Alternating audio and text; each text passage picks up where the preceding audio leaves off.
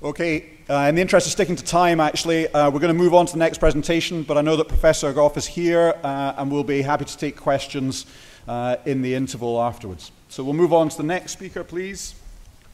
Uh, and this is Dr. Morin from Canada, a randomized clinical trial to evaluate the effectiveness of incomplete milking in early lactation to reduce ketonemia and hyperketonemia.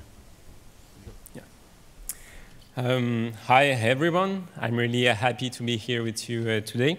So, um,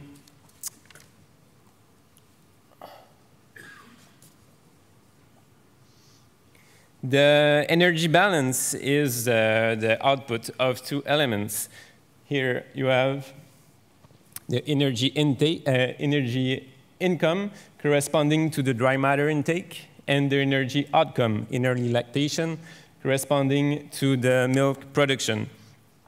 The peak of uh, milk production come before the peak of uh, dry matter intake, and this put the animal in, an avoidable um, negative energy balance. This negative energy balance, um, it occurs uh, fat mobilization and uh, triglycerides uh, from the adipocytes just um, liberates their um, free fatty acid chains in the bloodstream. So uh, those uh, free fatty acid chains can be uh, undergo three ways in the, in the liver.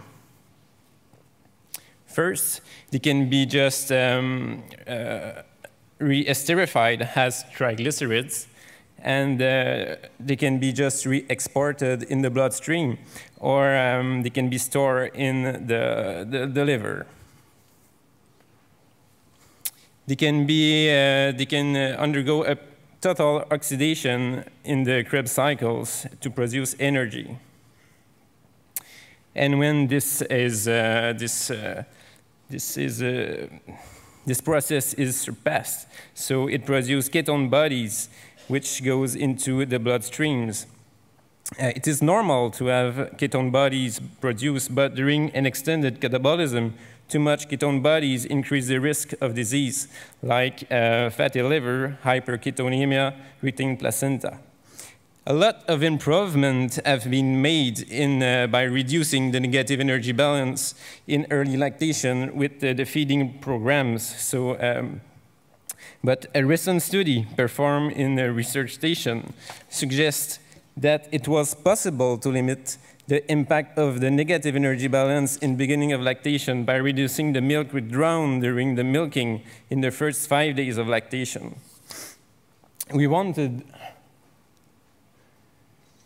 to see if it was applicable in commercial dairy farms. So um, uh, yes, to reduce the milk volume the, withdrawn during the first five days in milk for mature cows to see if it uh, will be able to decrease blood ketone bodies and the prevalence of hyperketonemia. 800 cows were recruited in uh, 13 uh, herds, uh, and they were randomly allocated to, uh, to the complete milking, which one was the conventional protocol on the farm, uh, where all the milk were withdrawn during the first five days in milk uh, from the udder. And uh, 400 cows were uh, on the treatment group, where um, only 10 to 14 kil, uh, liters per day were withdrawn of the udder um, for the first five days in milk. Of course, the control animals had the same sampling protocol than the treatment protocol. So here you have the red line uh, referring to the calving date. So this, um, uh, all the animals uh, had three BHBA measures and six uh, body condition score measures. This is the device that we, uh, we use to, uh, to measure the, the BHBA. It is uh, the Pre Precision Xtra. It is uh, easy, fast, and inexpensive. It is already validated, and uh, we use the, the, the, threshold that you will find in the literature about um, about hyperketonemia or subclinical ketosis is 1.2 to 1.4 millimole per liter. But um, this, with this device, uh, the specificity and sensibility was higher with the 1.4 millimole per liter. So that's the one we use to, uh, to decide if the cow was hyperketonemic or not.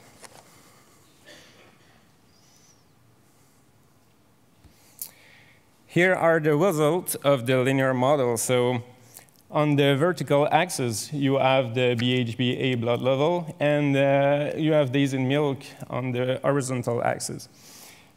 Um, we wanted to see uh, if uh, first the treatment was linked to, uh, to periods of uh, days in milk. You have the mean during the four to seven days in milk uh, period, you have the mean in blue of the incomplete milking protocol. Uh, and we can see with the, the blue shadow on the back is the 95% uh, confidence interval. So we can see that it is higher than the, the, the, for, the income, for the complete milking protocol. It is higher than the incomplete milking protocol that we can see in, in the, the red dash line. For this period, for the four to, to seven days in milk period, it is significant. And uh, there, there is a tendency to be lower during the 8 to 17 days in milk period. Um, so this indicates a, a, a, residual effect of the milking protocol. And during the, the, the one to three days in milk period, there's no, um, no difference and uh, that's normal because the milk withdrawn for, the, for those days were similar between groups. And there was no difference for the, NT, the 18 to 26 days in milk too. In terms of numbers, um, for the four to seven days in milk period, it was uh, the incomplete milking. You have the mean here, it's uh, 0.75. It was lower of 17% of the complete milking protocol, and this was significant. For the incomplete milking, um, the relative value were lower of 6%. It was uh, lower than the four to seven days in milk period, but, uh, and it was a tendency to. We wanted to see um, if uh, the treatment was linked to other elements that could help a dairy manager to decide if a cow will benefit, will benefit of an incomplete milking more than another.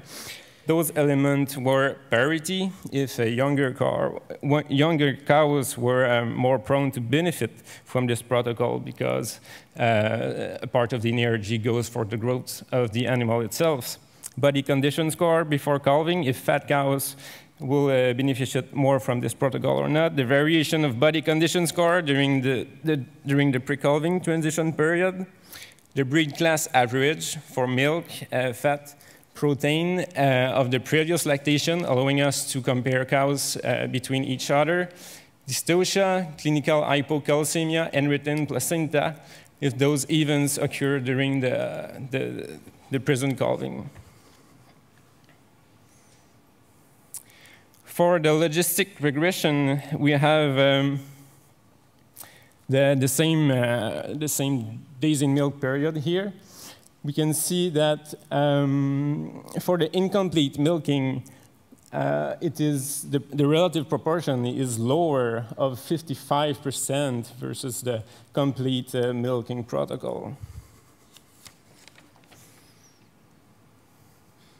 Oh, sorry. And for the 8 to 17 um, days in milk period, it was lower of 22%. Um, this, uh, once again, for the 8 to 17 days in milk period, it is, uh, it is lower of the first one, of the 4 to 7 days in milk period, but it is still significant. Yes. So in conclusion, I present a simple but uh, innovative approach aiming to reduce the impact of postpartum negative energy balance. The incomplete milking protocol is efficient to reduce ketone bodies and hyperketonemia in early lactation compared to the conventional milking protocol. It is easy to perform uh, this method on farm without expensive material and no drug are necessary. By reducing hyperketonemia and its associated disease, we could expect that longevity will increase and loss in productivity will decrease. This is the first step of a larger study which will explore the impact of this protocol on welfare, productivity, milk components, somatic cells, reproduction, early herd removal. Uh, if you want to hear more about the welfare for this protocol, uh, Catarina Krug will uh, do a poster during the poster se session.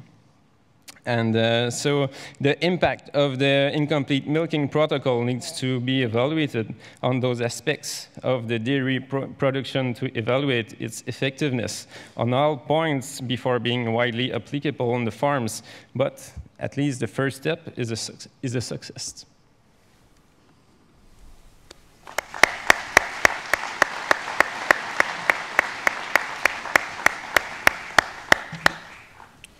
Thank you very much, Dr. Morin. Uh, we've got time for some questions. Uh, there are two gentlemen with the red tops uh, who have microphones available for any questions. Uh, when you ask a question, please state your name uh, and also uh, where you're from as well. So question down at the front here.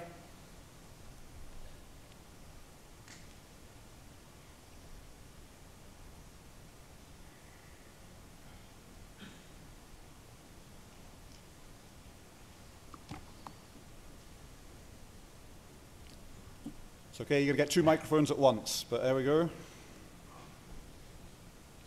Okay, thank you. Pedro Melendez uh, from University of Missouri, United States. Uh, regarding milk production, if you correct in your model for milk yield, for milk production, if you consider that in your model, uh, statistical model, and also what was the milk production between both groups? Uh, you, you mean the mean production of the total lactation? Or at least the, the first 30 days uh, accumulated. Okay, okay. Um, it was it was about for the for those for for the milking protocol that uh, on the bench uh, it was 10 to 14 and for uh, the other cows it was maybe 20 to 25 uh, liter per day so this was the difference am i answering your question or not Uh, no, we don't actually. Yeah, for the cows. No, it's okay. Thanks. That's good. Hello, uh, Lucas Huber from Austria. sorry. Yes, um, I'm just sorry. I'm just wondering how an incomplete milking protocol affected um, the total milk yield during the rest of the lactation.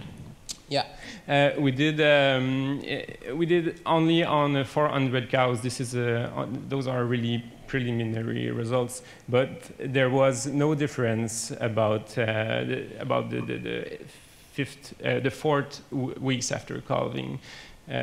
both the treatment protocol and the other one was similar. Yeah, there was no difference after that. So. Time for one more question at the front. Yep. Luzbel de la Sota, Argentina. My question is, do you have the 305 um, uh, lactations and were they different or at the end or were similar? Uh, in fact, we don't have uh, look at those data before. We just use uh, the breed class average of the previous uh, milking production, uh, milking uh, lactation, sorry, um, to, to see if there was a difference, but this will come soon, yeah. It is the next part. Okay, thank you very much. I'd like to thank Dr. Morin.